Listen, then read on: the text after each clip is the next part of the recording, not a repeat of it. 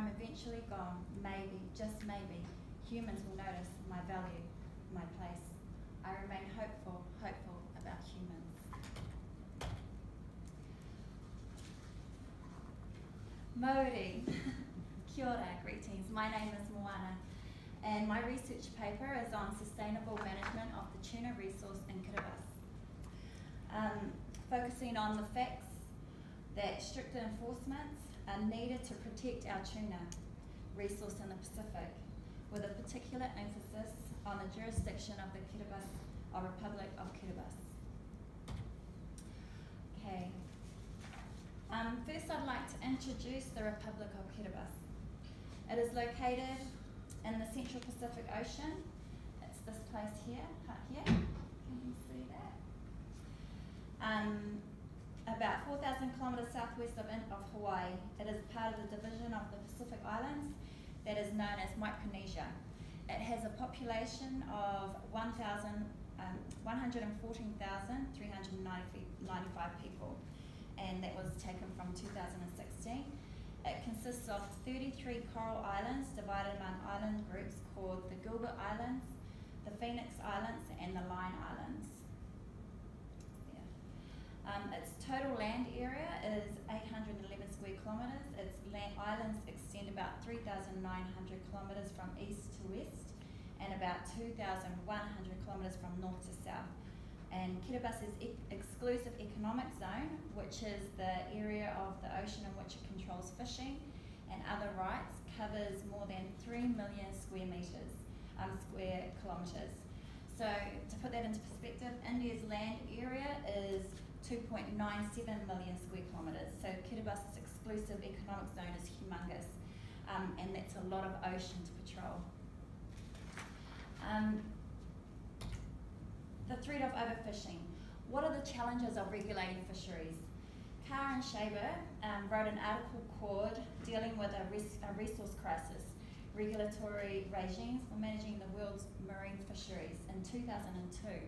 And in this article it states the Food and Agriculture Organization data on worldwide marine fisheries, the most authoritative statistical source on the subject, indicate that at least 60% of the world's top 200 commercial marine marine um, fish stocks are in fisheries classified, according to Catch Trends as either mature or senescent.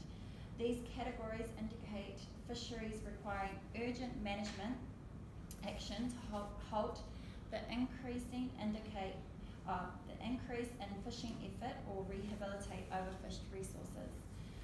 Fisheries in these two categories are either at or beyond full utilisation.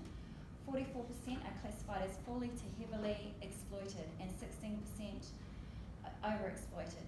Those beyond full utilisation are either in grave danger or depletion or already um, depleted beyond hope for commercial use in the near future. Um, these are the uh, um, applicable national laws of the Pacific Island parties.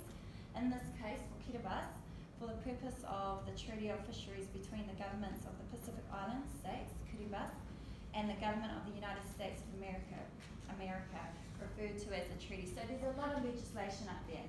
However, the purpose of my research, sustainable management of the tuna resource in Kiribati, is to analyse the various initiatives that seek to establish more effective global conservation norms, standards, regulations and institutions to govern the hunting of fish, the tuna, in ocean waters, the Kiribati exclusive economic zone. In my research, I um, will be exploring the development of the central principle of sustainability, the concept that fisheries should be exploited at a level that ensures a stable and continuous supply of fish, tuna, for the harvesting from one year to the, to the next. And I'll also be exploring why fishery management regimes have been almost, almost uniformly um, unsuccessful in achieving their objective of, achieve, of achieving sustainability. I'm still in the process of researching relevant case law, so I haven't got anything to show today. Um, sustainable management of the tuna resource in Kiribati. Now, the people of the Pacific, Kiribati, um, must be empowered um, to protect what is rightfully theirs. As individuals, it is impossible to achieve the, the goal of sustainability, so they must work together collectively, all the islands, in fact, all the peoples of the world. Um, the governments need to be sustainable and transparent, and there needs, there needs to be strict enforcements. There is an old story in the Pacific about a heron and a hermit crab who once crossed paths.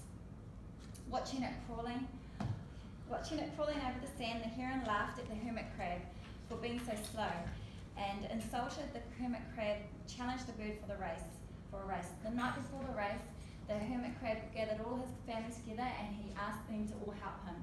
And so the next morning, um, when they were when they started the race, each time the heron reached a check, reached a checkpoint, one of the hermit crabs was there, um, tricking the, the heron that he had already he had, his challenger um, component had bet him. So the hermit crab won the race by tricking the heron. What worked for the hermit crab may very well work for the people of Kiribati. Um, that he was smart enough to count on collaboration. For all the people in the Pacific, what threats, with threats to their future livelihoods coming from all sides, they now need to forget their differences and work together. Only then will the Pacific Islanders be able to protect their fisheries, their tuna, for future generations. Thank you.